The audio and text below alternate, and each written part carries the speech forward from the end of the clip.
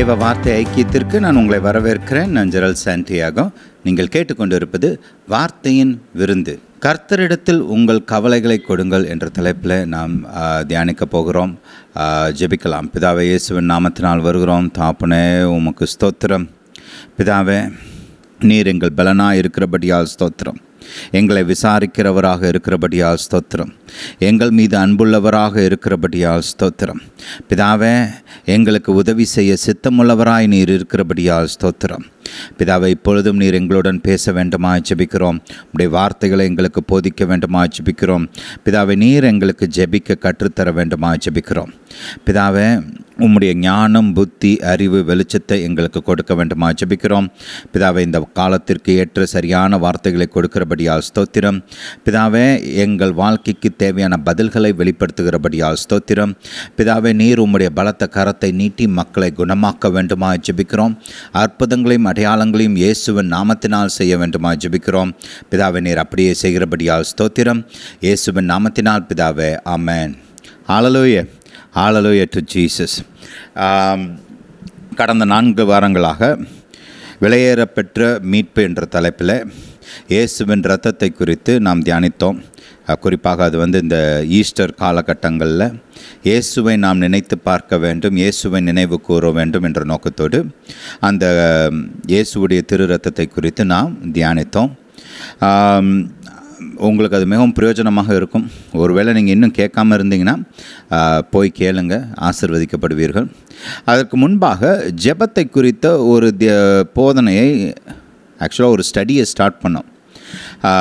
இதுக்கு முன்னாடி ரெண்டு சீரீஸ் ஜெபத்தை குறித்து பேசணும் முதலாவதாக இந்த இந்த இந்த பர்டிகுலர் uh, சீசனில் uh, முதலாவதாக ஜெபம் ஒரு வாழ்க்கை முறை என்ற தலைப்பில் தேவனோடு எப்படி ஒரு ஜெப வாழ்க்கை முறையை நாம் வளர்த்து கொள்ள வேண்டும் ஒரு உறவை எப்படி வளர்க்க வேண்டும் என்பதை குறித்து தியானித்தோம். அதுக்கு அடுத்த கட்டமாக விசுவாசத்தின் ஜெபத்தை எப்படி ஏறெடுப்பது என்பதை குறித்து பார்த்தோம். தேவன் நமக்காக இயேசுவின் மூலமாக கொடுத்த ஆசிர்வாதங்களை நம்முடைய சொந்த வாழ்க்கையில் எப்படி பெற்று அனுபவிப்பது என்பதை குறித்து ஒரு போதனையை நாம் போதனை தொடரை நாம் தியானித்தோம். அதற்கு அடுத்தபடியாக இப்பொழுது இன்னொரு வகையான ஜெபத்தை குறித்து தியானிக்க போகிறோம். ஏற்கனவே நாம் சொன்னபடி ஜ வேதத்தில் பலவிதமான ஜெபங்கள் போதிக்கப்படுகிறது. There are different kinds of prayer ஒவ்வொரு ஜெப வகைக்கும் பின்பாக கர்த்தர் ஒரு நோக்கத்தை வைத்திருக்கிறார். அந்த விதமான ஜெபத்தை நாம் மேறெடுக்கும்போது அதற்குரிய பலனையும் நன்மைகளையும் நாம் அனுபவிப்போம். அதற்கென்று ஒரு குறிப்பிட்ட ஆசீர்வாதங்களை கர்த்தர் நியமனம் பண்ணி வைத்திருக்கிறார். தேவன் நமக்கு கொடுத்திருக்கிற ஆசீர்வாதங்களின் முழுமையில் நாம் நடக்க வேண்டுமென்றால் கர்த்தருடைய ஆசீர்வாதங்கள் அனைத்தையும் நாம் சுதந்திரித்துக் கொள்கிறவர்களாக இருக்க வேண்டுமென்றால் இந்த ஜெப வகைகளை கற்றுக்கொண்டு ஏற்ற விதத்தில் சூழ்நிலைக்கு தக்க ஏற்ற சரியான ஜெபத்தை ஏறெடுக்க நாம் கற்றுக்கொள்ள வேண்டும். எல்லா ஜ எல்லா சூழ்நிலைகளுக்கும் காலக்கும் ஒரே வகையான ஜெபத்தையே ஏறெடுக்காமல் கர்த்தர் பேதத்தில் பைபிளில் போதிக்கிறபடி சூழ்நிலைக்கு ஏற்ற சரியான ஜெபத்தை நாம் ஏறெடுக்க பழக வேண்டும். இப்போ வியாதிக்கேற்ற மருந்து சாப்பிட்ற மாதிரி இந்த பிரச்சனைக்கு எந்த விதமான ஜெபத்தை நாம் பயன்படுத்த வேண்டும் என்று அறிந்திருக்க வேண்டும். இல்லை இந்த காரியத்தை சாதிப்பதற்கு நான் எந்த விதத்தில் ஜெபிக்க வேண்டும் என்பதை அறிந்திருக்க வேண்டும். அதனால தான் வேதம் நமக்கு இந்த போதனைகள் எல்லாம் கொடுக்கிறது. பரிசுத்தாவியானவர் வேதத்தில் ஆதி ஆகமத்திலேருந்து வெளிப்படுத்தின சுவிசேஷம் வரைக்கும் பல இடங்களில் ஜெபத்தை குறித்து திரும்ப திரும்ப நமக்கு போதிக்கிறார். ரைட் அப்போ இது அடுத்த வகையான ஜெபம். ரைட் மொதல் விசுவாசத்தின் ஜெபத்தை குறித்து பார்த்தோம். இப்பொழுது நம்முடைய கவலைகளை கர்த்தரிடத்தில் எப்படி ஒப்பு கொடுப்பது என்பதை குறித்து நாம் தியானிக்க போகிறோம். இந்த வகையான ஜெபம் எதற்கு பயன்படுத்துகிறோம் என்றால் நம்முடைய வாழ்க்கையில் இப்போ பலவிதமான கவலைகள் வருகிறது இல்லையா? சூழ்நிலைகளின் நிமித்தமாக பிரச்சனைகளின் நிமித்தமாக ஆபத்துகளின் நிமித்தமாக இல்லை நம்ம செய்து முடிக்க வேண்டிய ஒரு சில காரியங்களின் நிமித்தமாக இருக்கிற கஷ்டங்களின் நிமித்தமாக குடும்பத்தின் நிமித்தமாக குடும்பத்தில் இருக்கிற பிரச்சனைகள் நிமித்தமாக பண தேவைகள் நிமித்தமாக இப்படி பல காரியங்கள் நம்முடைய வாழ்க்கையில் கவலையை கொண்டு வர பார்க்கின்றன. அப்போ இந்த கவலையெல்லாம் நாமளே சுமந்து சுமந்தோம் என்றால் அது நம்முடைய சரீரத்தை பாதிக்கும் நம்முடைய மனதை பாதிக்கும் நம்முடைய விசுவாசத்தை பாதிக்கும். இயேசு கிறிஸ்துவுக்குள்ளான நம்முடைய வாழ்க்கையவே அது பாதிக்கும். அதனால் கர்த்தர் வந்து என்ன சொல்கிறாரு உன் கவலையில் நீனே வைத்துக்கொள்ளாத நீனே வச்சுக்காத ஏன்ட்ட கொடு. ஏன்ட்ட கொடு. கர்த்தர் நமக்கு சமாதானம் இருக்க வேண்டும் என்று விரும்புகிறார். நம்முடைய ஆண்டவராகிய இயேசு சமாதான பிரபுவாக இருக்கிறார். நம்முடைய தகப்பனாகிய பிதாவானவர் எகோவா ஷலோம் சமாதானத்தின் தேவன். ஆளலுய ஆளலுய டு ஜீசஸ் ஏசு குழப்பத்தின் தேவன் கிடையாது கவலையின் தேவன் கிடையாது பயத்தின் தேவன் கிடையாது சமாதானத்தின் தேவன் சமாதான பிரபு. ஆளலுய டு ஜீசஸ் பாருங்கள் இயேசு இந்த உலகத்தை விட்டு அதாவது சிலுவைக்கு தன்னை ஒப்பு கொடுப்பதற்கு முன்பாக தன்னுடைய சீசர்களிடத்தில் இப்படி சொன்னார். என் சமாதானத்தை உங்களுக்கு கொடுக்கிறேன். இந்த உலகம் கொடுப்பதைப் போல அல்ல என்னுடைய சமாதானத்தையே நான் உங்களுக்கு கொடுக்கிறேன் என்று சொன்னார். அப்போ இயேசு நமக்கு நாம் எப்படிப்பட்ட வாழ்க்கையை வாழ வேண்டும் என்று விரும்புகிறார்? ஒரு சமாதானம் நிறைந்த வாழ்க்கையை வாழ வேண்டும் என்று விரும்புகிறார். இங்கே அப்போஸ்தர்கள் எழுதின நிருபங்கள்லாம் பார்த்தீங்கன்னா அவங்களுடைய வாழ்த்துதல் எல்லாத்துலேயும் என்ன இருக்கும்? சமாதானம். Grace be unto you இல்லை peace be unto you அப்படின்னு சொல்லுவாங்க. ரைட் இல்லை கிரேஸ் அண்ட் பீஸ் அப்படின்னு சேர்த்து சொல்லுவாங்க. ஏன்? அது தேவன் நமக்கு கொடுக்கிற ஒரு பிரதானமான ஆசிர்வாதமாக இருக்கிறது. சமாதானம் என்பது தேவனால் உண்டாகிற ஆசிர்வாதங்களில் மிகவும் முக்கியமான ஒரு ஆசிர்வாதமாக இருக்கிறது. இந்த உலகத்தில் இன்றைக்கி அநேக பிரச்சனைகள் இருக்கிறது. குறிப்பாக நாம் வாழுகிற இந்த காலகட்டங்களில் இந்த சமாதானம் என்பது அதிமுக்கியம். எல்லாரும் அதைத்தான் தேடிகிட்டு இருக்கிறாங்க. உலகம் முழுசாக என்னத்தை தேடிட்டு இருக்குது? சமாதானம் தேடுறாங்க. சொந்த வாழ்க்கையில் சமாதானம் குடும்பத்தில் சமாதானம் தேசத்தில் சமாதானம் தேசங்களுக்கு இடையே சமாதானம். இன்றைக்கி சமாதானத்தை குலைக்கக்கூடிய அநேக ஆபத்துகள் பயங்கரங்கள் இந்த உலகத்தில் வந்து கொண்டு இருக்கின்றன ரைட் இப்போ நம்ம தேசத்தை சுற்றி பார்த்தோம்னா நம்முடைய அயல்நாடுகள் இரண்டு அயல் நாடுகளில் சாப்பாடு கிடைக்காம திண்டாடிட்டு இருக்கிறாங்க. ரே மக்கள் ரோட்டில் நிற்கிறாங்க பெட்ரோல் வாங்க முடியல சாப்பாடு வாங்க முடியல கையில் பணம் இருக்குது ஆனால் பொருள் வாங்க முடியல. இது வந்து நம்ம வந்து லக்ஸுரி ஐட்டம்ஸை குறித்து பேசல. பேசிக் கம்யூனிட்டிஸ் வாழ்க்கைக்கு தேவையான காரியங்கள் கிடைக்க மாட்டேங்குது. ரே பாருங்கள் அதை தவிர்த்து பாருங்கள் இப்போ யுக்ரைன் நாட்டில் போர் நடந்துகிட்டு இருக்குது. நிறைய பேர் பயந்துகிட்டு இருக்கிறாங்க. எத்தனையோ மக்களுடைய வாழ்க்கை பாதிக்கப்பட்டுக்கிட்டு இருக்குது உலகத்தின் பொருளாதாரம் மாறிக்கொண்டு இருக்கிறது. உலகத்தில் இருக்கிற இந்த அலையன்ஸ்ன்னு சொல்லுவாங்க ராஜ்யங்களுக்கு மத்தியில் இருக்கிற ஒத்துழைப்புகள் அக்ரிமெண்ட்டு ரைட் உடன்பாடு உடன்படிக்கைகள் இதெல்லாம் மாறிக்கிட்டு இருக்குது. ரைட் தேசங்களே மாறிக்கொண்டு இருக்கிறது.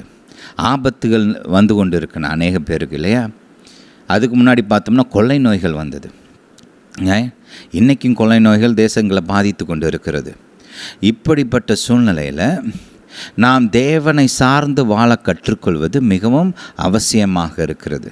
கவலைக்கு இடம் கொடுக்காம தேவனை நம்பி சமாதானத்தோடு வாழ கற்றுக்கொள்வது மிக மிக முக்கியமாக இருக்கிறது. இன்றைக்கி பயமுறுத்துகிற சம்பவங்கள் அநேகம். கவலையை உண்டு பண்ணுகிற ச சூழ்நிலைகள் அநேகம். நீங்கள் ஒன்றும் ஒரு நியூஸ் பேப்பர் எடுத்து படிச்சிங்கன்னா அதை முழுசாக படித்து முடிக்கிறதுக்கு முன்னாடி கவலை தானாக வரும். அதாவது டிப்ரெஷன்லாம் வரும். விட்டிங்கன்னா அப்படியே உட்காந்துட வேண்டியதுதான். ஆனால் கவனிங்க தேவன் நம்மை அனாதைகளாக இந்த பூமியில் விடவில்லை. ஆதரவற்றவர்களாக விடவில்லை. நமக்கும் தேவனுக்கும் இரத்த உடன்படிக்கை இருக்கிறது. தேவன் நமது சகாயராக நம்முடைய ஜீவனின் பலனாக இருக்கிறார். நமக்கு உதவி செய்ய அவர் காத்து கொண்டிருக்கிறார் ஆனால் தேவனுடைய உதவியை நாம் பெற்றுக்கொள்ள வேண்டுமென்றால் நம்முடைய பிரச்சனைகளை அவர் கையில் கொடுக்க நாம் பழக வேண்டும். அவரை விசுவாசித்து அவரை நம்பி வாழ நாம் பழக வேண்டும். பாருங்கள் கர்த்தருடைய உதவி நம்முடைய வாழ்க்கையில் ஆட்டோமேட்டிக்காக வர்றது கிடையாது. It comes based on invitation from us நம்முடைய அழைப்பின் நிமித்தம் தான் கர்த்தர் நம்முடைய வாழ்க்கைக்குள் நுழைவார். பாருங்கள் உங்களுடைய ரட்சிப்பை எடுத்துக்கோங்க. ஏசு சிலுவையில் நமக்காக மறித்து ரெண்டாயிரம் ஆண்டுகளுக்கு மேலே ஆயிடுச்சு ரைட் ரட்சிப்பை உண்டு பண்ணுனதுனால ஏசு எல்லார் வாழ்க்கையிலையும் ஃபோர்ஸ் பண்ணி ரட்சிப்பை திணிச்சாரா? கிடையாது. ரே எல்லாரையும் ஆட்டோமேட்டிக்காக உடனே ரட்சிப்புக்குள்ளே கொண்டு வந்துட்டாரா? கிடையாது.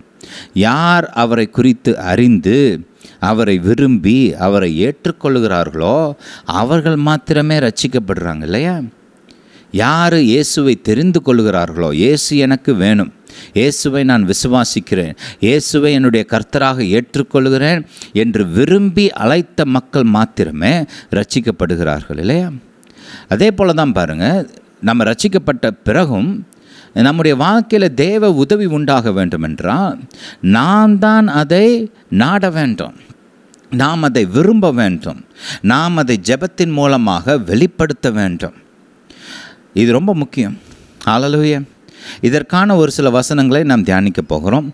நம்முடைய போதனையின் டெக்ஸ்டாக ஆதார வசனங்களாக ஒரு ரெண்டு வசனங்களை முதலாவது வாசிக்கலாம். ஆலலுய ஒன்று பேதரு ஐந்தாம் அதிகாரம் ஆறு மற்றும் ஏழாம் வசனங்களை வாசிப்போம். ஆகையால் ஏற்ற காலத்தில் தேவன் உங்களை உயர்த்தும்படிக்கு அவருடைய பலத்த கைக்குள் அடங்கி இருங்கள். அவர் உங்களை விசாரிக்கிறவரானபடியால் உங்கள் கவலைகளை எல்லாம் அவர் மேல் வைத்து விடுங்கள். என்ன சொல்கிறார் கர்த்தர்? நீ கவலையை சுமக்காத. பிரச்சனைகள் இருக்கிறது உண்மைதான். பிரச்சனைகள் வர்றதும் உண்மைதான். ஆனால் நீ அந்த கவலைகளை சுமந்து நீ உன் வாழ்க்கையை கெடுத்துக்காத. நீ பே பிபியெல்லாம் ஏற விடாத. நீ டென்ஷன் ஆகாத. ரே நீ பயத்துக்கு இடம் கொடுத்து டிப்ரெஷனுக்குள்ளெல்லாம் நுழையாத அதெல்லாம் விட்டுட்டு உன் கவலையை எடுத்து ஏன்ட்ட கொடு அப்படின்னு கருத்தர் சொல்கிறார் உன் கவலையை எடுத்து என் கரத்தில் கொடு. ஹalleluya ஜீசஸ் பாருங்கள் பழைய ஏற்பாட்டில் இதுக்கு ஒத்த ஒச ஒரு வசனம் இருக்கிறது. சங்கீதம் ஐம்பத்தைந்து இடங்கள் தாவிதி எழுதின ஒரு அருமையான சங்கீதம் ஐம்பத்தைந்தாவது சங்கீதம் இருபத்தி ரெண்டாவது வசனம். இருபத்தி ரெண்டு மட்டும் போதும். கர்த்தர் மேல் உன் பாரத்தை வைத்துவிடு அவர் உன்னை ஆதரிப்பார். நீதிமானை ஒருபோதும் தள்ளாட ஒட்டார். நீதிமான்னா யார்?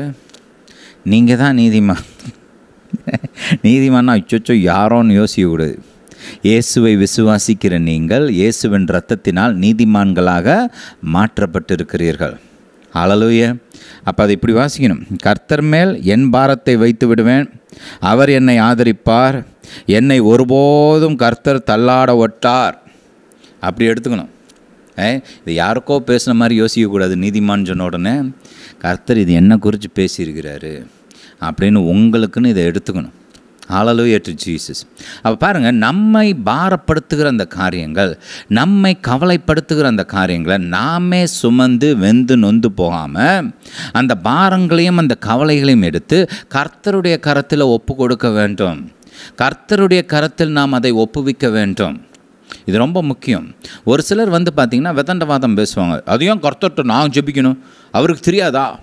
அவராக பார்த்து செய்ய வேண்டியது தானே அவர் உண்மையிலே என்னை நேசிக்கிறாருன்னா அவர் பண்ண வேண்டியது தானே அவருக்கு தெரியாதா? எல்லாம் தெரிஞ்சவருன்னு சொல்கிறீங்க நான் படுற கஷ்டத்தை பார்த்து ஏன் சும்மா இருக்கிறாரு? இப்படிலாம் கேட்பாங்க. பாருங்கள் நீங்கள் கர்த்தருடைய ஆசீர்வாதத்தை அனுபவிக்க விரும்புனா அதுக்கு ஒரு ஷார்ட்கட் இருக்குது. ஷார்ட்கட்டுன்னு சொல்லக்கூடியது. ஷார்ட்கட்டுன்னு கூட சொல்லக்கூடாது. ஒரு ஒரு ஒரு ஈஸியான வழி என்னன்னு கேட்டிங்கன்னா அவர் வார்த்தையில் அவர் என்ன சொல்லியிருக்கிறாருன்னு பார்த்து அதுக்கு ஏற்ற விதத்தில் நம்மளை மாற்றிக்கிறது தான் அதுக்கான வழி. அவரை வழி அவருடைய வழிமுறைகளை எதிர்த்து பேசுகிறது வந்து ஆசீர்வாதத்துக்கு வழி கிடையாது. ஆசிர்வாதத்தை நீங்கள் பெற்று அனுபவிக்கணுமா? தேவனுடைய நன்மைகளை நீங்கள் பெற்று அனுபவிக்க வேண்டுமா? அவர் வார்த்தையில் என்ன சொல்லியிருக்கிறாருன்னு கண்டுபிடிச்சி அதுக்கு ஏற்ற விதத்தில் உங்களை மாற்றிக்கங்க அவர் ஜெபின்னு சொன்னால் ஜெபிக்கணும். இதை செய்யன்னு சொன்னால் செய்யணும். இதை செய்யாதன்னு சொன்னால் செய்யக்கூடாது. புரியுதா? கர்த்தரெல்லாம் நம்மளால் மாற்ற முடியாது. அதுக்கெலாம் நம்ம ஆள் கிடையாது. அவர் கர்த்தர் அவர் மாறாதவர். கர்த்தர் நித்திய தேவன். கர்த்தருடைய வார்த்தை மாறாதது. இயேசு இப்படி சொன்னார் வானமும் பூமியும் ஒளிந்து போகும். அவருடைய வார்த்தைகளோ ஒரு நாளும் ஒளிந்து போகாது. கர்த்தர் தன்னை குறித்து சொல்லும்போது நான் கர்த்தர் நான் மாறாதவர் என்று சொல்லுகிறார். இயேசு கிறிஸ்து நேற்றும் இன்றும் என்றும் மாறாத தேவன். அவரை மாற்றலாம் முயற்சிக்கக்கூடாது நம்மளை மாற்றுறதுக்கு தான் நம்ம முயற்சிக்கணும். அவருடைய வார்த்தைக்கு ஏற்ற விதத்தில் என் வாழ்க்கையை நான் தான் மாற்றணும் அதுதான் தாழ்ச்சி. கர்த்தருக்கு ஒன்றும் புதுசாக கற்றுக்கணும்னு அவசியம் கிடையாது. அவர் ஒன்றும் மனுஷன் கிடையாது. அவர் தான் ஞானத்தின் ஊற்று. ஞானமும் வல்லமையும் கர்த்தருடையது. இப்போ நம்ம வந்து மனிதர்கள் அதனால் காலப்போக்கில் நம்ம அதிக அதிகமாக கற்றுக்கொண்டு நம்ம முன்னேறி கொண்டு வருகிறோம். நம்முடைய அறிவு வளருது நம்முடைய ஞானம் வளருது. ரைட் நேற்று யோசித்த காரியங்கள் இன்றைக்கி தவறுன்னு தெரியுது. ஏன்னா நம்ம புதுசாக ஒரு சில காரியங்களை கற்றுக்கிட்டோம் இல்லையா? அதனால். ரைட் ஆனால் கர்த்தருக்கு அப்படிப்பட்ட அவசியம்லாம் கிடையாது. கர்த்தருக்கு ஒன்றும் அவர் நாலேஜை அப்டேட் பண்ணிக்க வேண்டிய அவசியம் கிடையாது. அவர் சர்வ ஞானி ஒருவராக ஞானம் உள்ள தேவன். அவர் சொல்வது தான் சரி அவர் சொல்வது தான் ஞானம். புரியுதா? ஆளலூயா அப்போ ஆசிர்வாதத்தை பெற்று அனுபவிப்பதற்கு என்ன வழி? அவர் வார்த்தை என்ன சொல்லுதுன்னு கண்டுபிடிச்சு அதுக்கு நேரம் என்னை மாற்றணும் அவர் ஜெபின்னு சொன்னால் ஜெபிக்கணும். கவலையை ஒப்புக்கொடுன்னு சொல்கிறாரா என்னை தாழ்த்திக்கிட்டு என் பிரச்சனையை தூக்கி அவர் கையில் கொடுக்கணும். அதுதான் சரி. அப்போ தான் அவருடைய சமாதானத்தை ருசி பார்க்க முடியும். அப்போ தான் அவர் வைத்திருக்கிற அந்த நன்மையை அனுபவிக்க முடியும். புரியுதா? Hallelujah to Jesus hallelujah to Jesus கவனிங்க. வாசிப்போம் பிலிப்பியர் நான்காம் அதிகாரம் ஆறாம் வசனம். இது நம்முடைய அடுத்த டெக்ஸ்ட்டு இந்த போதனைக்கு ரெண்டு டெக்ஸ்ட் வசனங்கள் வச்சுருக்குறோம். ஒன்று ஒன்று பேதரு ஐந்தாம் அதிகாரம் ஆறு மற்றும் ஏழாம் வசனங்கள். அடுத்த டெக்ஸ்ட் வந்து பிலிப்பியர் நான்கு ஆறாம் வசனம் ஏழாம் வசனம். கவனிங்க இங்கே பவுல் அப்போஸ்லன் பிலிப்பிய சபைக்கு எழும்பு எழுதும்போது இந்த விதத்தில் அவர்களுக்கு போதிக்கிறார். ஆறாம் வசனம் நீங்கள் ஒன்றுக்கும் கவலைப்படாமல் கவனிங்க எடுத்தோன்னே அவர் என்ன சொல்கிறாரு ஒன்றுக்கும் கவலைப்படாமல். ஏன்? எந்த சூழ்நிலையிலையும் நீங்கள் பயப்படணுன்ற அவசியமே கிடையாது. ஏன்னா வானத்தையும் பூமியும் படைத்த தேவன் நான் உன்னை விட்டு விலகுவதில்லை உன்னை கைவிடுவதில்லைன்னு வாக்கு பண்ணியிருக்கிறார். இயேசு இந்த உலக முடிவு பரியந்தமும் நான் உன்னோடு கூட இருக்கிறேன் என்று வாக்கு பண்ணியிருக்கிறார். பரிசுத்த ஆவியானவர் சதா காலத்துக்கும் நமக்குள்ளே வாசம் பண்ணுவார் என்று வாக்கு பண்ணப்பட்டிருக்கிறது.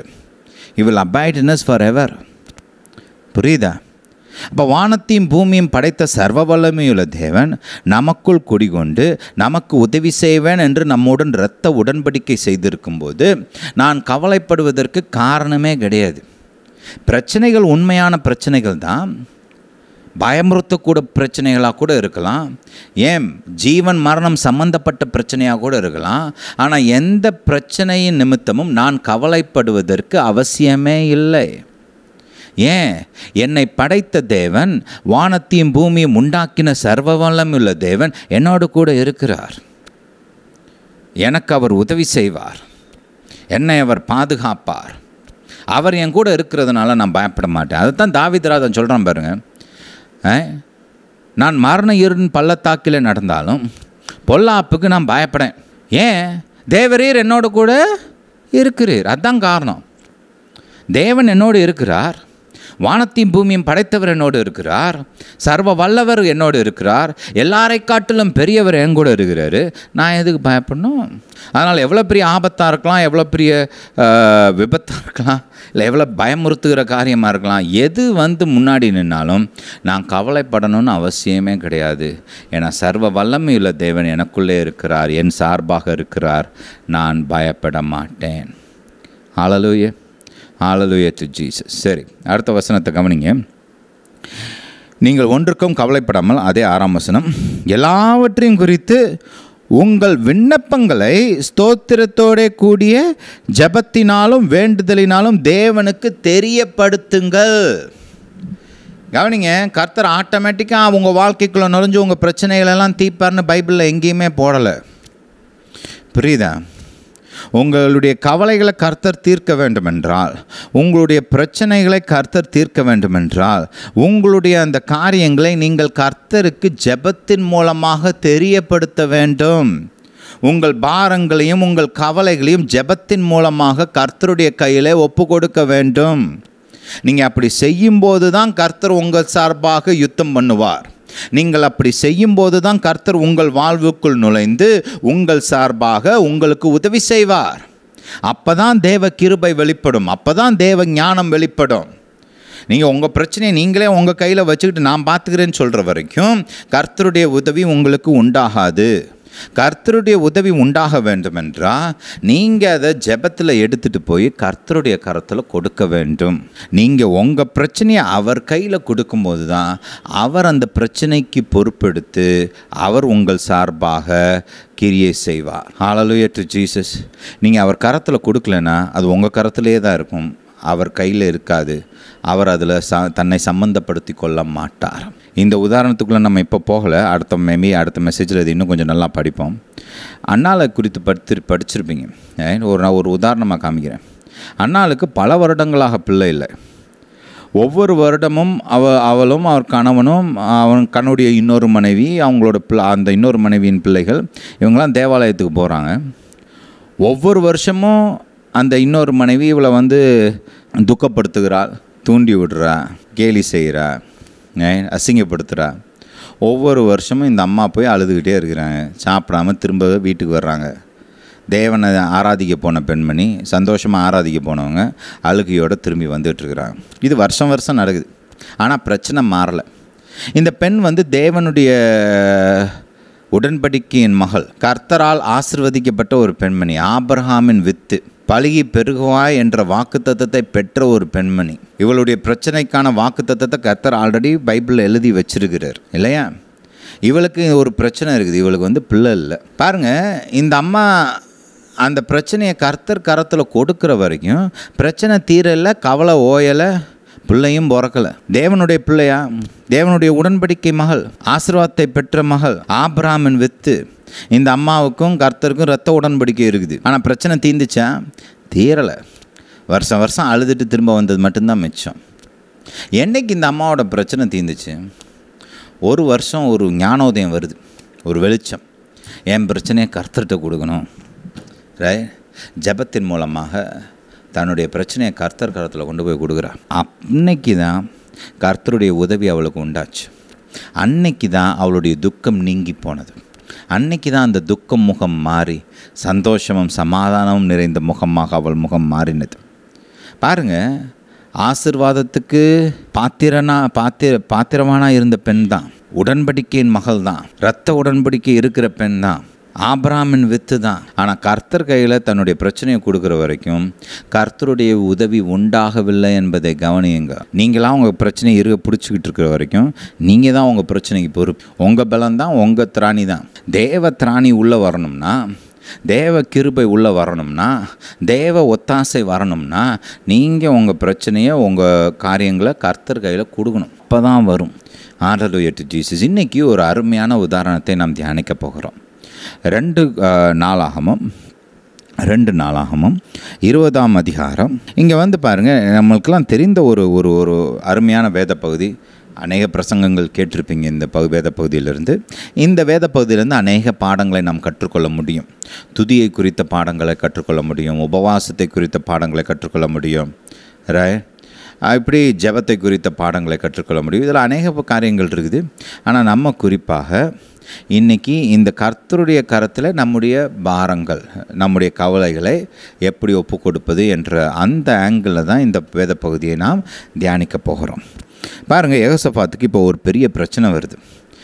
இந்த பிரச்சனையின் காலங்களில் யூத சாம்ராஜ்யத்தின் ராஜாவாக யகோசபாத் இருந்தார். யூத சாம்ராஜ்யம் என்பது இரண்டே இரண்டு கோத்திரங்களுடைய ராஜ்யமாக இருந்தது. பாருங்க சாலமனின் பாவத்தின் நிமித்தம் யூத இஸ்ரவேல் தேசம் இரண்டு தேசங்களாக உடைக்கப்பட்டது. ரைட் ஒன்று யூத யூத சாம்ராஜ்யம் இன்னொன்று வந்து இஸ்ரவேல் சாம்ராஜ்யம். இஸ்ரவேல் சாம்ராஜ்யத்தில் பத்து கோத்திரங்கள் இருந்தது. யூத சாம்ராஜ்யத்தில் ரெண்டே ரெண்டு கோத்திரங்கள் தான். யூதா கோத்திரம் பெஞ்சமின் கோத்திரம். ரைட் அப்போ இந்த இரண்டு கோ கோத்திரங்கள் உள்ள ஒரு சின்ன ராஜ்யமாகத்தான் யூதா ராஜ்யம் இருந்தது. அப்போ இந்த ராஜ்யத்துக்கு விரோதமாக மூன்று பெரிய தேசங்கள் படையெடுத்து வந்தன. ரைட் அம்மோனின் புத்திரர்கள் மோஆபியர்கள் அப்புறம் சேயிர் புத்திரர்கள் அதாவது ஈசாவுடைய பிள்ளைகள். எல்லாமே சொந்தக்கார பிள்ளை தான். ஒன்று ஈசாவுடைய பிள்ளைகள் யாக்கோபுடைய பிள்ளைகள் தான் இஸ்ரவேலர் இல்லையா? அவனுடைய அண்ணன் ஈசாவுடைய புத்திரர்கள் தான் செய்யீர் புத்திரர்கள். ஆப்ராமுடைய ஆஹ் ஆபிராமுடைய தம்பி பையன்தான் லோத்து லோத்துடைய புத்திரர்கள் தான் மோவாபியர் அம்மோனியர் அப்போ இவங்க தான் படையெடுத்து இஸ்ரேவேலுக்கு விரோ ஐ மீன் யூத சாம்ராஜ்யத்துக்கு விரோதமாக வர்றாங்க. இந்த மூன்று தேசங்களுமே பெரிய தேசங்கள் நல்லா பெரிய பெரும் படையுள்ள தேசங்கள் நல்லா ஒரு ஸ்ட்ராங்கான தேசங்கள். இந்த தேசங்கள் மூன்றும் அணி சேர்ந்து ஒன்று கூடி இஸ் யூத சாம்ராஜ்யத்துக்கு விரோதமாக வர்றாங்க. இயற்கையாக பார்த்தா யூத படைகளாக யூத படைகளால் இவங்களை வந்து மேற்கொள்ள முடியவே முடியாது. ஏன்னா பெரும் படையோடு வராங்க. மூன்று பெரிய தேசங்கள் தங்கள் படைகளை இணைத்து வர்றாங்க. ரைட் அதனால் யூதா யூத சாம்ராஜ்யம் ஜெயிப்பதற்கு சாத்தியமே கிடையாது. யோசபாத் இந்த இந்த யுத்தத்தில் ஜெயிப்பதற்கான வழி வாய்ப்புகளே கிடையாது. அப்போ அந்த சூழ்நிலையில் யோசப்பாத்துக்கு இதை கேட்ட உடனே பயம் வந்துடுது ஏன்னா வர்றவங்க வந்து பாருங்கள் ஏதோ இவங்கள்ட்ட இருக்கிற தங்கத்தையோ வெள்ளியோ எடுக்கிறதுக்காக வரல. வர்றவங்க எதுக்கு வர்றாங்கன்னா இந்த ஜனக்கூட்டம் மொத்தத்தையும் கொன்று போட்டுட்டு அழிச்சிட்டு அவங்க தேசத்தை எடுக்கும்படி வருகிறார்கள். இவர்களுடைய தேசத்தை சுதந்திரித்து கொள்ளும்படி வருகிறார்கள். இவங்களால் போய் சமாதானமும் பேச முடியாது. பாருங்க இந்த மாதிரி சூழ்நிலையில் ஒரு சில ராஜாக்கள் என்ன பண்ணுவாங்க? அந்த வருகிற படை த ராஜாக்கள்கிட்ட போய் சமாதானம் பேசி நான் உனக்கு கப்பம் கட்டுறேன். ரைட் நீ என் தேசத்தை தொடாத. அப்படின்னு சொல்லி ஒரு ஒரு ஒப்பந்தம் மாதிரி பண்ணுவாங்க. இங்கே அதை பண்ணுறதுக்கு வழி வரல. ஏன்னா அவன் வந்து அதுக்கு வரல. தங்கத்துக்காக வரல பொண்ணுக்காக வரல வெள்ளிக்காக வரல. மக்களை அழிச்சிட்டு அந்த தேசத்தை எடுத்துக்கிறதுக்காக வந்திருக்கிறாங்க. அப்போ வந்து அழிவு நிச்சயம் இங்கே. இது வந்து ஏதோ கொஞ்சம் பண நஷ்டம் உண்டாகிற காரியம் கிடையாது இது. மொத்த தேசமுமே அழிந்து போகக்கூடிய சூழ்நிலையில் இருக்கிறாங்க. ஒரு உயிர் ரெண்டு உயிர் இல்லை லட்சக்கணக்க ம லட்சக்கணக்கான மக்கள் இங்கே அழிய போகிறாங்க அப்படிப்பட்ட ஒரு செய்தி தான் யகோசஃபாத்துக்கு வருகிறது. அந்த செய்தியை கேட்டோன்னே யகோசஃபாத் ராஜா பயப்படுறார். ஏன்னா இப்போ பெரிய ஒரு ஒரு ஆபத்து இல்லையா? ஆனால் யகோசஃபாத் பய பயத்துலையே நிற்கலை பாருங்க. என்ன செய்தார் என்று வாசிப்போம். கவனிங்க. மூன்றாம் வசனம். ரெண்டு நாளாகவும் இருபது மூன்றாம் வசனம். அப்பொழுது யோசபாத் பயந்து கர்த்தரை தேடுகிறதற்கு ஒருமுகப்பட்டு யூதாவெங்கும் உபவாசத்தை குறுவித்தான். பாருங்க என்ன செய்தாராம்? கர்த்தரை தேடுகிறதற்கு ஒருமுகப்பட்டானாம். கவனிங்க இது என் பிரச்சனை நானே பார்த்துக்கிறேன்னு சொல்லலை பாருங்க. அவ்வளோ பெரிய பிரச்சனை வருது. அந்த பிரச்சனை நிமித்தமாக பயம் கவலை வருது. அதை அதை அதை- அதை தீர்க்கும்படி அவன் என்ன செய்கிறான் கர்த்தரிடத்தில் வருகிறான். ஆளலுய டு ஜீசஸ் அடுத்த வசனத்தை வாசிப்போம். அப்படியே யூதா ஜனங்கள் கர்த்தரிடத்தில் சகாயம் தேட கூடினார்கள். ஏன்னா அவங்களுக்கு தெரியுது ஏன் திராணிக்கு மிஞ்சின காரியம்? இதை என்னால் தீர்க்க முடியாது. எனக்கு கர்த்தருடைய உதவி வேண்டும். அப்போ கர்த்தருடைய உதவியை பெற்றுக்கொள்ளும்படி இந்த மக்கள் ஜெபிக்க கூடினார்கள். ஆளலுய டு ஜீசஸ் பாருங்கள் இவங்க எல்லாருமே உடன்படிக்கையின் மக்கள். ஆபிரகாமன் வித்து ரைட் இவங்க யாருமே ஆ கர்த்தருக்கு தெரியாதா? இவ்வளோ பெரிய ஆபத்து வருதுன்னு? உதவி செய்ய வேண்டியதானே? கர்த்தர் பார்க்கலையா? கர்த்தருக்கு கண் இல்லையா? கர்த்தருக்கு தெரியாதா? அப்படின்லாம் யாரும் பேசலை பாருங்க. பிரச்சனை வந்திருக்கு. அந்த பிரச்சனையை தீர்க்கும்படி தங்களுடைய பிரச்சனையை கர்த்தரிடத்தில் கொடுப்பதற்கு கர்த்தரிடத்தில் சகாயம் பெற்றுக்கொள்வதற்கு அவர்கள் ஜெபிக்க கூடினார்கள் என்பதை கவனியுங்கள். சரி கவனிங்க. அப்படியே யூதா ஜனங்கள் நான்காம் வசனம் கர்த்தரிடத்தில் சகாயம் தேட கூடினார்கள். யூதாவில் உள்ள எல்லா பட்டணங்களிலும் இருந்து அவர்கள் கர்த்தரை தேட வந்தார்கள். அப்போது யெகோசபாத் கர்த்தருடைய ஆலயத்தில் புது பிரகாரத்து முகப்பில் யூதா ஜனங்களும் எருசலேமியரும் கூடின சபையிலே நின்று ஒரு அருமையான ஜெபத்தை ஏறெடுக்கிறார். இந்த ஜெபம் வந்து ஒரு ஒரு மிகவும் ஞானம் நிறைந்த ஒரு ஜெபம். இது வந்து ஒரு சிற்பம் மாதிரி பாருங்கள் அப்படியே ஒரு சிற்பத்தை எப்படி ஒரு சிற்பி செதுக்குவானோ அந்த மாதிரி செதுக்கி எடுத்த ஜெபம் இது. இது ஏதோ சும்மா ஒரு சின்ன பிள்ளை இந்த கிறுக்கு இருக்கிற மாதிரி கிறுக்குன ஒரு ஓவியம் மாதிரி கிடையாது பாருங்க. ரே செதுக்கி எடுத்த சிற்பம் மாதிரியான ஜெபம் இது. ஒரு அற்புதம் ஒரு நல்ல ஒரு ஒரு ஒரு மாஸ்டர் ஒரு பெயிண்டிங் பண்ணால் எப்படி இருக்கும்? ரே ஒரு திறமையுள்ள ஒரு ஒரு ஓவியன். யோசித்து தன்னுடைய திறமையெல்லாம் பயன்படுத்தி ஒரு அழகான ஓவியத்தை தீட்டுனா எப்படி இருக்கும்? அப்படிப்பட்ட ஒரு அழகான அருமையான ஞானம் நிறைந்த ஒரு ஜெபம் இது. இந்த ஜெபத்தில் பல காரியங்கள் நீங்கள் கற்றுக்கலாம் நம்ம குறிப்பாக வந்து நம்முடைய இந்த ஜபத்தின் ஜெபத்தின் இதை நம்ம தியானிக்க போகிறோம். டைம் எடுத்து இந்த ஜெபத்தெல்லாம் தியானிங்க. இதெல்லாம் ஒரு கிளாசிக் ப்ரேயர் ஞானம் நிறைந்த ஜெபங்க. ஜெபிக்கிறது எப்படின்னு இதுலேருந்து நீங்கள் நிறையா கற்றுக்கலாம் ரைட் அதனால் டைம் கொஞ்சம் எடுத்து இந்த இந்த ஜெபத்தெல்லாம் தியானிங்க. ரைட் வாசித்து திரும்ப திரும்ப படிங்க. கருத்தர்கிட்ட கேட்டு கற்றுக்குங்க அநேக பொக்கிஷமான காரியங்கள் இந்த ஜெபத்தில் இருக்கிறது. ரைட் சரி கவனிங்க. ஐ மீன் யோசபாத் இப்படி ஜெபிக்க ஆரம்பிக்கிறார். எங்கள் பிதாக்களின் தேவனாகிய கர்த்தாவே. பாருங்கள் ஜெபங்களில் ஏதாவது ஒரு நாமம் எழுதப்பட்டிருந்துச்சுன்னா அந்த நாமத்துக்கு நீங்கள் முக்கியத்துவம் கொடுக்கறது ரொம்ப முக்கியம். ஏன்னா அதுக்கு பின்னாடி அர்த்தம் இருக்கிறது காரணங்கள் இருக்கிறது. தேவனுடைய நாமம் எங்கெல்லாம் பயன்படுத்தப்பட்டிருக்கிறதோ அந்த நாமத்தை அவருடைய அர்த்தத்தை புரிஞ்சுக்காம வசனத்தை வாசிச்சிங்கன்னா உங்களுக்கு அந்த வசனம் அவ்வளோவா விளங்காது. அந்த நாமத்தின் அர்த்தத்தை புரிஞ்சு அந்த காரணத்தை புரிஞ்சு நீங்கள் அந்த வசனத்தை வாசிச்சிங்கன்னா தான் அதோடைய முழு அர்த்தம் உங்களுக்கு விளங்கும். அழலுய ஹalleluya டு ஜீசஸ் இங்கே எடுத்தோடனே அவர் என்ன சொல்கிறாரு என் தேவனேன்னு கூட சொல்லலை எங்கள் பிதாக்களின் தேவனே அப்படின்னு சொல்கிறாரு அதுக்கு காரணம் இருக்கிறது. ஏன்னா பாருங்கள் கர்த்தர் ஆபிரகாமோடு இரத்த உடன்படிக்கை செய்திருக்கிறார். இந்த இஸ்ரவேல் தேசத்தை கர்த்தர் எப்படி கொடுத்தாருன்னா ரைட் ஆபராமோடு இரத்த உடன்படிக்கை பண்ணி தான் இந்த இஸ்ரவேல் தேசத்தை இவர்களுடைய சுதந்திரமாக சொத்தாக கர்த்தர் கொடுத்துருக்கிறார். ரைட் அதனால தான் பாருங்கள் எடுத்த உடனே என் தேவனேன்னு சொல்லலை எங்கள் பிதாக்களின் தேவனே. என்ன தேவன்? எங்கள் பிதாக்களின் தேவனே. ரைட் கவனிங்க அடுத்து என்ன சொல்கிறாருன்றதை பாருங்கள் எங்கள் பிதாக்களின் தேவனாகிய கர்த்தாவே பரலோகத்தில் இருக்கிற நீர் அல்லவோ தேவன்? தேவரீர் ஜாதிகளுடைய ராஜ்யங்களை எல்லாம் ஆளுகிறவர். உம்முடைய கரத்தில் வல்லமையும் பராக்கிரமும் இருக்கிறது. அங்கே அதுக்கு முன்னாடி கவனிங்க. பரலோகத்தில் இருக்கிற நீரல்லவோ தேவன் தேவரீர் ஜாதிகளுடைய ராஜ்யங்களை எல்லாம் ஆளுகிறவர். பரலோகத்தில் இருக்கிறவர்ன்றது ரொம்ப முக்கியம். ஏன்னா பாருங்கள் அவர் தான் உயரத்தில் இருக்கிறார். அவருக்கு அடியில் தான் நம்ம இருக்கிறோம். அதெல்லாம் ரொம்ப முக்கியம். கர்த்தருடைய சிங்கானசனம் எங்கே இருக்குது? பாதாளத்தில் நமக்கு அடியில் இல்லை வானாதி வானங்களில். இருக்கிறதுலே மிகவும் உயரமான உன்னதங்களில் கர்த்தருடைய சிங்காசனம் இருக்கிறது. அது எதை குறிக்கிறதுனா எல்லாத்திற்கும் எல்லாவற்றிற்கும் அவர் மேலானவர். சகலத்திற்கும் அவர் சகலத்தின் மேலும் அதிகாரம் உள்ளவர் என்பதை குறிக்கிறது. அதனால தான் கர்த்தருக்கு ஒரு பேர் வந்து உன்னதர். மோஸ்ட் ஹை எல்லாரை காட்டிலும் உயரமானவர். புரியுதா? அதனால் வானத்தில் அவர் வீற்றிருக்கிறார். வானங்களில் அவருடைய சிங்காசனம் இருக்கிறதுன்றதுக்கு அர்த்தம் இருக்கிறது. வேதம் என்ன போதிக்கிறது? கர்த்து ச பாருங்கள் இயேசுவை கர்த்தர் உயர்த்தி எல்லாவற்றிற்கும் மேலாக தன்னுடைய வலது பாரசத்தில் அவரை உட்கார வைத்தாராம். சகலத்தையும் அவருடைய பாதத்துக்கு கீழே வைத்தாராம். எல்லா நாமம் அதிகாரம் வல்லமைகள் இது எல்லாவற்றிற்கும் மிகவும் மேலாக இயேசுவை உயர்த்தி சிங்காசனம் கொடுத்து உட்கார வச்சிருக்கிறார். அது எதை குறிக்கிறது? இயேசுடைய ஆளுகையும் அதிகாரத்தையும் குறிக்கிறது. அப்போ இவர் இங்கே என்ன சொல்கிறாரு எல்லா தேசங்களுக்கும் மேலானவர் நீர் எல்லா தேசங்களின் மீதும் அதிகாரம் படைத்தவர் நீர் என்று அவர் சொல்லுகிறார். ஏன்னா அவருக்கு எதிர்த்து வர்றது தேசங்கள் இல்லையா? ரே தேசங்களுடைய பிரச்சனையை எந்த கோர்ட்டில் போய் கொடுக்க முடியும்? கொடுக்க முடியாது. தேசங்கள் மீதெல்லாம் அதிகாரமுள்ள தேவாதி தேவங்கையில் தான் கொடுக்க முடியும். அதனால தான் ஞானமாக அப்படி பேசுகிறாரு சங்கீதம் நூற்றி மூணு எடுங்க. ஹalleluya டு ஜீசஸ் பத்தொம்போதாம் வசனம். கர்த்தர் வானங்களில் தமது சிங்காசனத்தை ஸ்தாபித்திருக்கிறார். எங்கே ஸ்தாபித்திருக்கிறாரு? வானங்களில். அவருடைய ராஜரீகம் சர்வத்தையும் ஆளுகிறது. அவருடைய ராஜரீகம் எதை செய்- எதை ஆளுகிறது? ஒன்று ரெண்டு இல்லை. எல்லாத்தையுமே அவருடைய ராஜரீகம் ஆளுகிறது. அவருடைய ஆள் அவருடைய ராஜ்யம் சகலத்தையும் ஆளுகிறது.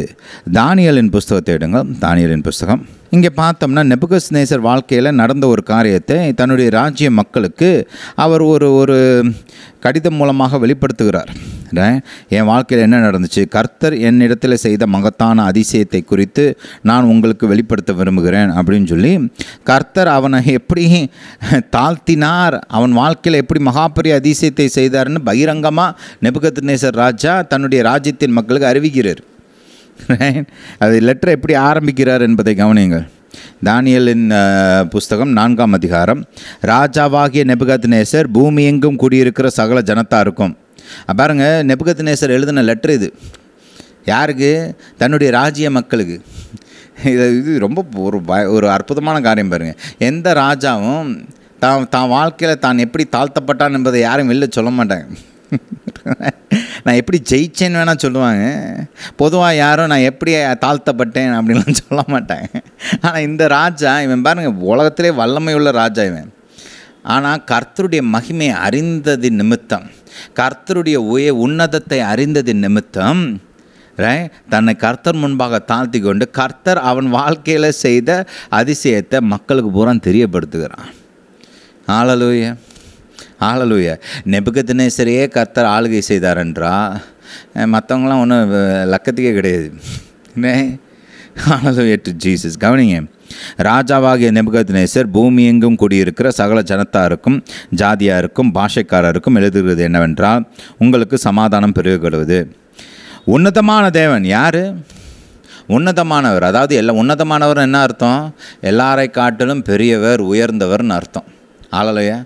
இங்கிலீஷில் ஒரு நல்ல பெயர் பயன்படுத்தியிருப்பாங்க. மோஸ்ட் ஹை அப்படின்னா எல்லாருக்காட்டிலும் அவர் தான் ஹை அவருக்கு மேலே ஹையெல்லாம் கிடையாது. ஆளலூய மோஸ்ட் ஹை உன்னதமான தேவன் என்னிடத்தில் செய்த அடையாளங்களையும் அற்புதங்களையும் பிரசித்தப்படுத்துவது எனக்கு நன்மையாய் கண்டது. ரே பாருங்கள் பாருங்க கர்த்தர் இவருக்கு என்ன வெளிப்படுத்தினார்னா இவர் என்ன நினச்சிட்டு இருந்தார் நம்ம தான் உலகத்திலே பெரிய ஆள் நம்மளை மிஞ்சி யாரும் கிடையாது. நான் கட்டின பாபிலோன் ஏன் முயற்சி ஏன் திராணி ஏன் பலத்தினால் கட்டினது அப்படின்ற ஒரு பெருமை இருந்துச்சு இவருக்கு. நான் தான் எல்லாத்தையும் சாதித்தேன் நான் தான் எல்லாத்தையும் எல்லா ராஜ்யங்களையும் கீழ்ப்படுத்தினேன். ஏன் சக்தி ஏன் பலன் அப்படின்ற ஒரு நினைப்பு இருந்தது. ரே புரியுதா? அதனால தான் தொண்ணூறு அடியில் ஒரு சிலை வச்சு எல்லோரும் இந்த சிலையை வாங்கணும்னு சொன்னார் இந்த ஆள். புரியுதா? அப்படிப்பட்ட ஒரு ஆளை கர்த்தர் வந்து தாழ்த்தினார். எப்படி தாழ்த்தினார்ன்றதுக்குள்ள டீட்டெயில்ஸ்குள்ளெல்லாம் நம்ம போகல நீங்கள் படித்து பார்த்துக்கோங்க. இதில் குறிப்பாக ஒரு காரியத்தை நான் சொல்ல விரும்புகிறேன். இவருக்கு ஒரு தரிசனத்தை கர்த்தர் கொடுத்து அந்த தரிசனத்தில் தூதன் ஒருவன் இவரிடத்துல இந்த விதமாக பேசுகிறான். பதினேழாவது வசனத்தை கவனிங்க. உன்னதமானவர் மறுபடியும் அந்த வார்த்தையை கவனிங்க. உன்னதமானவர். உன்னதமானவர்னு என்ன அர்த்தம்? எல்லாரை காட்டிலும் பெரியவர். உன்னதமானவர் மனுஷருடைய ராஜ்யத்தில் ஆளுகை செய்து கர்த்தர் எங்கே ஆளுகை செய்கிறாராம்? மனுஷனுடைய ராஜ்யத்தில் யார் ஆளுகை செய்கிறது? கர்த்தர். ஆளலூய ஆளலூய டு ஜீசஸ் ஆளுகை செய்து தமக்கு சித்தமானவனுக்கு அதை கொடுத்து அவருக்கு யாருக்கு யாருக்கு கொடுக்க அவருக்கு இஷ்டமாக அவங்க கையில் ராஜ்யங்களை எடுத்து கர்த்தர் கொடுக்குறாராம். ரைட் கொடுத்து மனுஷரில் தாழ்ந்தவனையும் அதன் மேல் அதிகாரியாக்குகிறார் என்று நர ஜீவன்கள் அறியும்படிக்கு காவலாளரின் தீர்ப்பினால் இந்த காரியமும் பரிசுத்தவான்களின் மொழியினால் இந்த விசாரணையும் தீர்மானிக்கப்பட்டது என்றான். முப்பத்தி ஓராம் வசனத்தை எடுங்க அதே அதிகாரம். பாருங்க இந்த இந்த இது இதுக்கான um, இன்டர்பிரட்டேஷனையும் தானியல் கொடுக்குறது. இவருக்கு அது இந்த இந்த கனவு இந்த இந்த பாருங்கள் இவருடைய இந்த கனவுக்கு அர்த்தம் தெரியல. கர்த்தர் வந்து சொப்பனத்தின் மூலமாக பேசுகிறாரு ஆனால் இவருக்கு அது புரியலை. அந்த சொப்பனத்துக்கான அர்த்தத்தை தானியல் வந்து இவருக்கு விளக்கி சொல்கிறாரு திருந்துங்கன்னு சொல்கிறாரு ஆனால் மனுஷன் திருந்தலை. அப்போ அந்த முப்பத்தோராம் வசனத்தில் கவனிங்க. இந்த வார்த்தை ராஜாவின் வாயில் இருக்கும்போதே வானத்திலிருந்து ஒரு சத்தம் உண்டாகி ராஜாவாகிய நெபுகாத்நேசாரே ராஜ்ய பாரம் உன்னை விட்டு நீங்கிற்று. மனுஷரினின்று தள்ளப்படுவாய் வெளியின் மிருகங்களோட சஞ்சரிப்பாய் மாடுகளைப் போல் புல்லை மேய்வாய் அப்படியே உன்னதமானவர் மனுஷருடைய ராஜ்யத்தில் ஆளுகை செய்து தமக்கு சித்தமாயிருக்கிறவனுக்கு அதை கொடுக்கிறார் என்பதை நீ அறிந்து கொள்ளும் மட்டும். அப்போ கர்த்தர் நமக்கெல்லாம் ஒரு அறிவு இருக்கணும்னு விரும்புகிறேன் என்ன அறிவு? உன்னதராகிய தேவன் சர்வ வல்லமையுள்ளவர் வானத்தையும் பூமியும் படைத்தவர் மனுஷருடைய ராஜ்யங்களிலே ஆளுகை செய்கிறவராக இருக்கிறார். தனக்கு பிரியமானவனுக்கு ராஜ்யங்களை கொடுக்கிறார். இந்த அறிவு நம்மளுக்கெல்லாம் இருக்கணும்னு சொல்கிறார் கர்த்தர். அதை யகோபா யகோசபாத் ராஜா அறிஞ்சு வச்சுருந்தார். அதனால தான் அவர் சரியான விதத்தில் ஜெபிக்கிறார். கவனிங்க. ஆளலுய டு ஜீசஸ் ரெண்டு நாளாகவும் இருபது. தேவரீர் ஜாதிகளுடைய ராஜ்யங்களை எல்லாம் ஆளுகிறவர். கரெக்டாக சொல்கிறாரு பாருங்க. உம்முடைய கரத்திலே வல்லமையும் பராக்கிரமும் இருக்கிறது. ஒருவரும் உம்மோடு எதிர்த்து நிற்கக்கூடாது. பாருங்க இவர் ஜெபத்தை ஆரம்பித்த விதம் எப்படி இருக்குது பாருங்கள் ஆரம்பிக்கும் போதே கர்த்தரை தன்னுடைய பிரச்சனைக்கு மேலானவராக தன்னுடைய பிரச்சனைகளை காட்டிலும் பெரியவராக உயர்த்துகிறார். பாருங்கள் எடுத்த உடனே ஐயோ கர்த்தாவே மூன்று தேசங்கள் ஒன்று கூடி வராங்க கர்த்தாவே தனியாக கூட வரல சேர்ந்து வராங்க. என்ன பண்ண போகிறேன்னு தெரியல அழிஞ்சிருவோம் போல இருக்குது பயமாக இருக்குது. கவலையாக இருக்குது. தூக்கம் போயிடுச்சு சோறு நிற்க சாப்பிட முடியல. தண்ணி நிற்க மாட்டேங்குது. அப்படி சொல்லலை பாருங்க. தன் பிரச்சனை இருந்தது முக்கு உண்மைதான். ஆபத்து இருந்தது உண்மைதான். ஆனால் அவர் எடுத்த உடனே ஜெபத்தில் தேவனை உயர்த்தி தேவனை மகிமைப்படுத்தி தன்னுடைய பிர தேவனை தன்னுடைய பிரச்சனைகளை தீர்க்கக்கூடியவராக உயர்த்துகிறார் என்பதை கவனியுங்கள். எடுத்த உடனே ஜெபத்தை அப்படி தான் ஆரம்பிக்கிறாரு. இன்றைக்கி நிறையா பேர் எடுத்த உடனே அவங்க அவங்களுடைய பிரச்சனையை ஆராதனை செஞ்சு அவங்க பிரச்ச பிரச்சனையை துதித்து பாடி அதுக்கப்புறம் கர்த்தாவே உம்மால் ஏதாவது முடிஞ்சா செய்யுன்னு கர்த்தரை கீழே மட்டப்படுத்தி அப்படி ஜெபிக்கிறாங்க. அதை ஜெபம்னு வேற சொல்கிறாங்க ஆராதனைன்றது கர்த்தரை உயர்த்தணும். ஜெபத்தை உயர்த்தக்கூடாது. ஐ மீன் பிரச்சனையை உயர்த்தக்கூடாது. யாரை துதிக்கணும்? கர்த்தரை துதிக்கணும். பிரச்சனையை துதிக்கக்கூடாது. ஆளலோ டு ஜீசஸ் எவ்வளோ அருமையாக ஞானத்தோட இந்த மனுஷன் ஜெபிக்கிறாரு பாருங்க. எடுத்த உடனே ஸ்டேட்மெண்ட் என்ன? தேவன் உயர்ந்தவர். தேவனால் இந்த பிரச்சனையை தீர்க்க முடியும். இந்த உதவி செய்வதற்கு தேவன் வல்லமையுள்ளவர். இந்த இந்த எனக்கு வ- எனக்கு எனக்கு எதிராக வருகிற இந்த எதிரிகள் கர்த்தரால் கர்த்தரை தோக்கடிக்க முடியாது. கர்த்தரால் அவங்கள தோக்கடிக்க முடியும் என்பதை எடுத்த உடனே சொல்லிடுறாரு பாருங்க. ம்? இது இன்னும் ரொம்ப அருமையான ஜெபம். எல்லாத்தையும் நமக்கு பார்க்குறதுக்கு நேரம் இல்லை. அடுத்த மெசேஜில் நம்ம இதை இன்னும் கொஞ்சம் நல்லா பார்ப்போம். ஆனால் இந்த மெசேஜை நீங்கள் படித்து பார்த்தீங்கன்னா ஐ மீன் இந்த இந்த ஜெபத்தை படித்து பார்த்தீங்கன்னா தன்னுடைய உடன்படி கர்த்தர் நான் அவருக்கு கொடுத்த இந்த வாக்குத்தத்தங்களை எடுத்து நினைவுபடுத்துகிறார். கர்த்த வேதகமத்தில் எழுதப்பட்ட சரித்திர நிகழ்வுகளை கர்த்தருக்கு நினைவுபடுத்துகிறார். அதெல்லாம் நினைவுபடுத்தி ஞானமான விதத்தில் ஜெபிச்சு தன்னுடைய பிரச்சனையை எடுத்து கர்த்தருடைய கரத்தில் ஒப்பு கொடுக்குறார். Right? அதை வாசிப்போம் கவனிங்க. ஹalleluya டு ஜீசஸ் பன்னெண்டாம் வசனத்தை கவனிங்க. இதை அடுத்த மெசேஜில் இன்னும் கொஞ்சம் ஆழமாக தியானிப்போம். இப்போதைக்கு பன்னெண்டாம் வசனத்துக்கு போங்க. எங்கள் தேவனே அவர்களை நீர் நியாயம் தீர்க்க மாட்டீரோ? எங்களுக்கு விரோதமாக வந்து இந்த ஏராளமான கூட்டத்திற்கு முன்பாக நிற்க எங்களுக்கு பலன் இல்லை நாங்கள் செய்ய வேண்டியது இன்னதென்று எங்களுக்கு தெரியவில்லை. ஆகையால் எங்கள் கண்கள் உண்மையே நோக்கி கொண்டிருக்கிறது என்றான். தன்னுடைய பிரச்சனையை எடுத்து இந்த ஜெபத்தின் மூலமாக கர்த்தருடைய கரத்தில் ஒப்பு கொடுத்தான். ஹalleluya டு ஜீசஸ் ஒரு ராஜா இப்படி சொல்கிறது ரொம்ப ஆச்சரியமான காரியம் பாருங்கள் பொதுவாக மக்கள் வந்து ஒரு ராஜாவை தான் நோக்கி பார்ப்பாங்க. பிரச்சனைன்னு வந்தால் பலமுள்ள ராஜா சேனைகள் உள்ள ராஜா பணபலம் உள்ள ராஜா தைரியம் உள்ள ராஜா வீரனான ராஜா அவர் நம்மளுக்கு உதவி செய்வார்னு மக்கள்லாம் ஜனங்களை ராஜாவை தான் நோக்கி பார்ப்பாங்க. ரே இந்த பிரச்சனையை தீர்க்கிறதுக்கு ராஜா ஏதாவது ஒரு வழி செய்வான் ராஜாவை தான் நோக்கி பார்ப்பாங்க. ஒரு ராஜா வந்து இதை செய்ய எனக்கு திராணி இல்லைன்னு சொல்கிறது வந்து ரொம்ப யூஸ்வலாக யாரும் சொல்ல மாட்டாங்க. இதை தீர்க்கிறது எனக்கு வழி தெரியல அப்படின்னு ராஜாக்கெல்லாம் வாயத்திறந்து சொல்ல மாட்டாங்க. உண்மை அதுதான் உண்மையாக இருக்கும். ஆனால் வாயத்திறந்து யாரும் சொல்ல மாட்டாங்க. எல்லாம் தெரிஞ்ச மாதிரி தான் காமிச்சுக்குவாங்க. ஆனால் இந்த ராஜா தன்னை தாழ்த்தி கொண்டு எல்லா ஜ எல்லா இந்த த- ராஜ்யத்தின் ஜனங்கள்லாம் அங்கே கூடியிருக்கிறாங்க. எல்லார் முன்னாடியும் சொல்கிறாரு பாருங்க இந்த பிரச்சனையை தீர்க்கிறதுக்கு எனக்கு திராணி கிடையாது. இதை சால்வ் பண்ணுறதுக்கு எனக்கு வழி தெரியல. ஆனால் உண்மை நோக்கி பார்க்குறோம். ஏ கர்த்தரே உம்மால் முடியும். உம்மை நோக்கி பார்க்குறோம். எங்கள் கண்கள் உம்மீது இருக்கிறது. அப்படின்னு தன்னுடைய பிரச்சனையை எடுத்து கர்த்தருடைய கரத்தில் கொடுக்குறாரு. பாருங்கள் யுத்தம் என்பது ஒரு ராஜாவுடைய பொறுப்பு. தேசத்தை பாதுகாப்பது ராஜாவுடைய பொறுப்பு. அது கர்த்தருடைய வேலை இல்லை ராஜாவுடைய வேலை. ரே ஆனால் யகசோஃபாத்தால் இந்த பிரச்சனையை தீர்க்க முடியல. அவர் என்ன பண்ணுறாரு தன்னுடைய அந்த ப- பிரச்சனையை எடுத்து கர்த்தர் கையில் கொடுத்தார். தன்னுடைய அந்த கவலை பயத்தை எடுத்து கர்த்தருடைய கையில் கொடுத்தார். அவர் கொடுத்தது நிமித்தமாக கர்த்தர் என்ன சொன்னார் என்பதை கவனியுங்கள். ஆலலூயா டு ஜீசஸ் பதினைந்தாம் வசனத்தை வாசிப்போம். சகல அங்கிருந்த ஒரு ஒரு மனிதன் மீது பரிசுத்த ஆவியானவர் இறங்கி அவன் தீர்க்க தரிசனமாக இப்படி பேசுகிறான். சகல யூதா கோத்திரத்தாரே எருசலேமின் குடிகளே ராஜாவாகிய ஏகோசபாத்தே கேளுங்கள். நீங்கள் அந்த ஏராளமான கூட்டத்திற்கு பயப்படாமலும் கலங்காமலும் இருங்கள். கர்த்தர் சொன்ன முத என்ன? பயப்படாத கவலைப்படாத கலங்காத. கவனிங்க அதனால தான் சொல்கிறேன் எவ்வளவு பெரிய பிரச்சனையாக இருக்கட்டும் உயிரே போகிற பிரச்சனையாக இருக்கட்டும் பயப்படாதீங்க. உங்கள் கர்த்தர் எல்லாரை காட்டிலும் பெரியவர். எல்லா பிரச்சனைகளை காட்டிலும் பெரியவர். கர்த்தர் சொன்ன மொதல் காரியம் என்ன பண்ண கலங்காத பயப்படாத. அழலுயே அழலுயே டு ஜீசஸ் கவனிங்க முக்கியமானது தான் பாருங்கள் இந்த பாயிண்ட்டை கவனிங்க. கலங்காமலும் இருங்கள் என்று கர்த்தர் உங்களுக்கு சொல்லுகிறார். இந்த யுத்தம் உங்களுடையதல்ல தேவனுடையது. கவனிங்க இது எப்போ தேவனுடைய யுத்தமாக மாறுச்சு? எப்போ தேவன் இந்த யுத்தத்தை பொறுப்பெடுத்து தன்னுடைய யுத்தமாக ஏற்றுக்கொண்டார்? ஜெபத்தின் மூலமாக யகோசப்பாத்தும் யூதா ஜனங்களும் தங்களுடைய பிரச்சனையை கர்த்தருடைய கையில் ஒப்பு கொடுத்ததுக்கு அப்புறம். புரியுத? நீங்களே பார்த்துக்குவோம்னு உங்கள் கையிலே பிரச்சனையை வச்சுருந்தீங்கன்னா அது உங்கள் பிரச்சனை தான். உங்கள் யுத்தம் தான் கர்த்தருடைய யுத்தம் கிடையாது. புரியுதா? கர்த்தருடைய சகாயம் உண்டாகாது. உங்கள் பிரச்சனை உங்கள் யுத்தம் கர்த்தருடையதாக மாற வேண்டுமென்றால் அதை எடுத்து ஜெபத்தின் மூலமாக நீங்கள் கர்த்தருடைய கருத்தில் ஒப்பு கொடுக்கணும். அப்போ தான் அது கர்த்தருடைய யுத்தமாக மாறும்.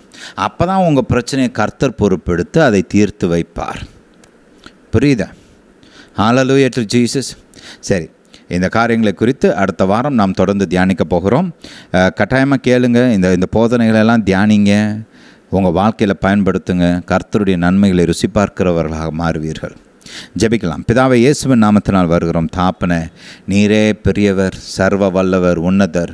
ராஜ்யங்களில் ஆளுகை செய்கிற தேவன் தேசங்களை ஆளுகிற தேவன் ராஜாக்களை தள்ளி ராஜாக்களை ஏற்படுத்துகிற தேவன் காலங்களையும் சமயங்களையும் மாற்றுகிற தேவன். பிதாவே உம்மால் கூடாத காரியம் ஒன்றுமில்லை. சர்வ வல்லவராய் நீர் இருக்கிறீர் தாப்பன. பிதாவே எங்களுடைய கவலைகள் எங்களுடைய பாரங்கள் எங்களுடைய சுமைகள் எங்களுடைய பிரச்சனைகள் அனைத்தையும் உம்முடைய கரத்தில் ஒப்பு கொடுக்கிறோம் பிதாவே உம்முடைய பலன் எங்களுக்கு உண்டாகட்டும். நீர் இந்த காரியங்களை பொறுப்பெடுத்து எங்களுக்கு உதவி செய்ய வேண்டுமா செபிக்கிறோம் பிதாவை உம்முடைய கிருபையும் ஞானமும் எங்களுக்கு வெளிப்படட்டும். பிதாவே இந்த காரியங்களை பொறுப்பெடுத்து நீர் சுமூகமாக தீர்த்து வைக்கிறபடியால் ஸ்தோத்திரம். அற்புதமான விதங்களில் எங்களுக்கு உதவி செய்கிறபடியால் ஸ்தோத்திரம். ஆளலூய டு ஜீசஸ் இயேசுவே உமக்கு நன்றி. இயேசுவே உமக்கு ஸ்தோத்திரம். பிதாவே உம்மை துதிக்கிறோம். பிதாவே உம்மால் கூடாத காரியம் ஒன்றுமில்லை என்று சொல்லுகிறோம். உம்மால் ஆகாத காரியம் ஒன்றுமில்லை என்று சொல்லுகிறோம்.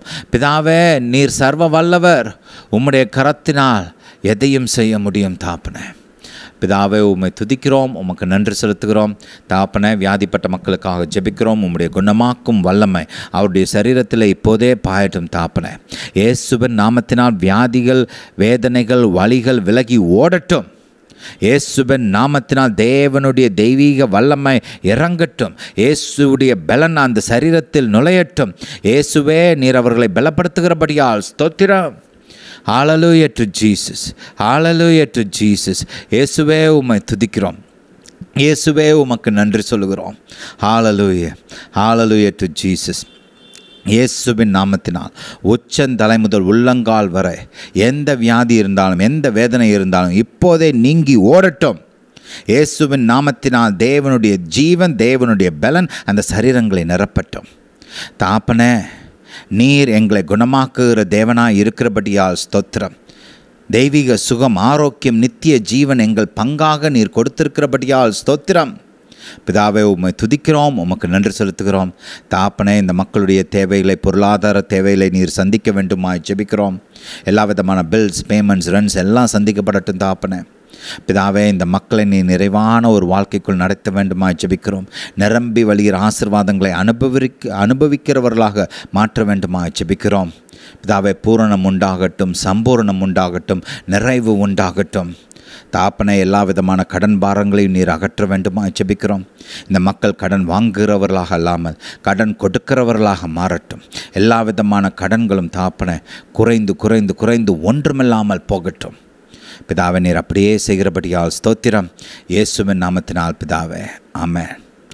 ஆலலோய ஜீசஸ் இந்த போதனைகளை கேட்டபடியால் நன்றி. நம்முடைய ஆடியோ வீடியோ மெசேஜஸை உங்கள் குடும்பத்தார் உற்றார் உறவினர்கள் நண்பர்கள் தெரிந்தவர்கள் விசுவாசிகள் ஊழியக்காரவங்க வசனத்தை விரும்பி கேட்குறவங்க வசனம் தேவைப்படுறவங்க எல்லாருக்கும் ஷேர் பண்ணுங்கள் எல்லாருக்கும் அனுப்பிச்சி வைங்க. கர்த்தர் உங்களை ஆசிர்வதிப்பார். கவனிங்க உங்களுடைய ஜப தேவைகளை எங்களுக்கு தெரியப்படுத்துங்க. கீழே வாட்ஸ்அப் நம்பர் வரும் நம்முடைய இமெயில் அட்ரஸ் வரும். நம்முடைய இமெயில் அட்ரஸுக்கோ இல்லை வாட்ஸ்அப் நம்பருக்கோ உங்களுடைய ஜப தேவைகளை அனுப்பிச்சி வைங்க. நாங்களும் உங்களோட உங்களோடு இணைந்து விசுவாசிக்கிறோம் கர்த்தர் நிச்சயமாகவே உங்களுக்கு அற்புதங்களை செய்வார். ஹalleluya ஹalleluya டு ஜீசஸ் நம்முடைய தேவன் சர்வ வல்லவர். அவரால் கூடாத காரியம் ஒன்றுமில்லை. கவனிங்க உங்களுடைய சாட்சிகளை எங்களுக்கு அனுப்பிச்சு வைங்க. இந்த ஊழியத்தின் மூலமாக நீங்கள் பெற்று அனுபவிக்கிற நன்மைகளை எங்களுக்கு தெரியப்படுத்துங்க. நாங்களும் கேட்டு சந்தோஷப்படுவோம் கர்த்தரை து கர்த்தரை துதிப்போம். உங்களுடைய சாட்சிகள் மற்ற விசுவாசிகளையும் ஊக்குவிக்கும். அவர்களும் தேவனை விசுவாசித்து வெற்றி பெற உதவி செய்யும். ஹalleluya ஹalleluya டு ஜீசஸ் காணிக்க அனுப்ப விரும்புகிறவங்க நம்முடைய வெப்சைட்டுக்கு போங்க ஜிடபிள்யூஎஃப் இந்தியா டாட் இன் அங்கே மேலே டொனேட்னு ஒரு டேப் இருக்கும். அதை ப்ரெஸ் பண்ணிங்கன்னா காணிக்கை அனுப்புவதற்கு பல வழிமுறைகள் இருக்குது. உங்களுக்கு எது வசதியோ அந்த விதத்தில் அனுப்பலாம். நீங்கள் இந்த ஊழியத்துக்கு காணிக்கை அனுப்பும்போது தேவனுடைய ராஜ்யத்தில் விதைக்கிறீங்க. கர்த்தர் அதற்காக உங்களை ஆசிர்வதிப்பார். அதன் நிமித்தமாக உங்களுடைய வாழ்க்கையில் நூறு மடங்கான அறுவடையை கொண்டு வருவார். கர்த்தர் உங்கள் தேவைகளெல்லாம் சந்தித்து உங்களை பெருகச் செய்வார். ஹalleluya ஹalleluya டு ஜீசஸ் இந்த போதனை கேட்டபடியால் நன்றி. கர்த்தர் உங்களை ஆசிர்வதிப்பாராக. நம்முடைய இயேசு ராஜா சீக்கிரம் வருகிறார்.